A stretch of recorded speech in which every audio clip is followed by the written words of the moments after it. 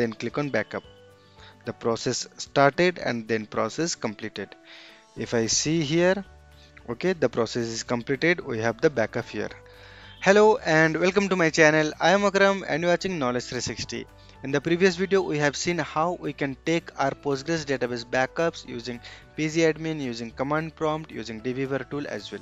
So in this video I'll show you how we can fix a particular issue that occurs during taking the backup using the pgadmin tool. The backup process fails and it is not completed successfully. So first let me show you what is the problem actually and I'll explain why the problem occurs. So I go to backup I'll select the file I can select this file and I'll click save and I can select the file format as plain because we know that for SQL the file format would be plain. Now I'll click on backup process started but it failed. When I see the process there is no logs as well. So what is the issue? The issue is that binary path is not set. So why it is giving error binary path is not set because when we take the backup the pg dump application runs but the pg dump application is available within this location for me if i show you this is the file path where this pg dump application is available. I need to set the binary path. So how we can set the binary path using pgadmin tool? To set the binary path go to file option click on preferences then search for the binary path. So if you see within the paths there is binary path option. If you see here for the advanced server 17 and also the local server 17 there is no binary path set. So we need to set the binary path I'll go to the binary path where my pg dump is available.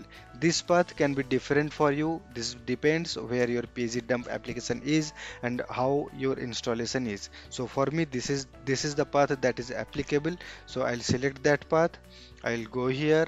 I'll put this path and I'll validate it first so this is validated. Pg dump pg dump all pg restore and psql tool. All are available within this path. So this is okay. And this EDB advanced server this as of now we don't need but still i'll select the binary path of this one. Okay i'll validate this one as well. This is also validated. Binary path here and then if you see here it already mentions that you need to provide the directory path where all these utilities tool are available. Okay so now I'll click on save. I'll, I have saved this. Now I'll take the backup. Right click on that. Click on backup. Then again go to select the file. I have selected the file. I'll replace it. Then check the format. The format would be plain. Then click on backup.